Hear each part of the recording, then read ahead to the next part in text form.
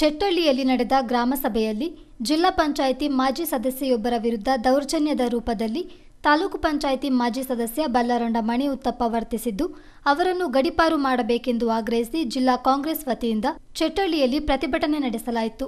ಅಧಿಕ ಸಂಖ್ಯೆಯಲ್ಲಿ ಪಾಲ್ಗೊಂಡಿದ್ದ ಕಾಂಗ್ರೆಸ್ ಕಾರ್ಯಕರ್ತರು ಮಣಿ ಉತ್ತಪ್ಪ ಅವರನ್ನು ಬಂಧಿಸುವ ಮೂಲಕ ಮಹಿಳಾ ಪ್ರತಿನಿಧಿಗೆ ನ್ಯಾಯ ಒದಗಿಸಬೇಕೆಂದು ಆಗ್ರಹಿಸಿದರು. ಈ ಸಂದರ್ಭ ಮಾತನಾಡಿದ ಕಾಂಗ್ರೆಸ್ ಜಿಲ್ಲಾಧ್ಯಕ್ಷ ಧರ್ಮ ಉತ್ತಪ್ಪ, ಸಭೆಯಲ್ಲಿ ಮಹಿಳಾ ಪ್ರತಿನಿಧಿ ಎನ್ನುವುದನ್ನು ನೋಡದೆ ಅನುಚಿತವಾಗಿ ವರ್ತಿಸಿರುವ ಮಣಿ ಉತ್ತಪ್ಪ ವಿರುದ್ಧ ಪೊಲೀಸ್ ಠಾಣೆಯಲ್ಲಿ ದೂರು ದಾಖಲಾಗಿರುವುದರಿಂದ ತಕ್ಷಣ ಅವರನ್ನು ಬಂಧಿಸಿ ಗಡಿಪಾರು ಮಾಡಬೇಕೆಂದು ಒತ್ತಾಯಿಸಿದರು. ನಮ್ಮ ಈ ಒಂದು ಪ್ರತಿಭಟನೆಗೆ ಕೊಡಗು ಜಿಲ್ಲಾ ನಿಕಟಪುರ ಅಧ್ಯಕ್ಷರಾಗಿದ್ದಂತಹ ನಮ್ಮ ವಿಧಾನ ಪರಿಷತ್ತಿನಲ್ಲಿ ಚುನಾವಣೆಯಲ್ಲಿ ಪರಾಜಿತಗೊಂಡಂತಹ ಮಾನ್ಯ ಶ್ರೀ ಕೆ ಕೆ ಮಂಜುನಾಥ್ ಅವರು ಕೂಡ ಇಲ್ಲಿಗೆ ಆಗಮಿಸಿದ್ದಾರೆ. ಅವರಿಗೆ ಕೂಡ ನಾನು ಈ ಪ್ರತಿಭಟನಾಕಾರರ ಪರವಾಗಿ ಸ್ವಾಗತವನ್ನು ಬಯಸುತ್ತಿದ್ದೇನೆ. ಕಾಂಗ್ರೆಸ್ ಮುಖಂಡರಾದ G Vijaya Chandramouli, AS Ponnanna, VP Shashidhar, KK Manjunath ಮತ್ತಿತರರು ಪ್ರತಿಭಟನೆಯಲ್ಲಿ ಪಾಲ್ಗೊಂಡಿದ್ದರು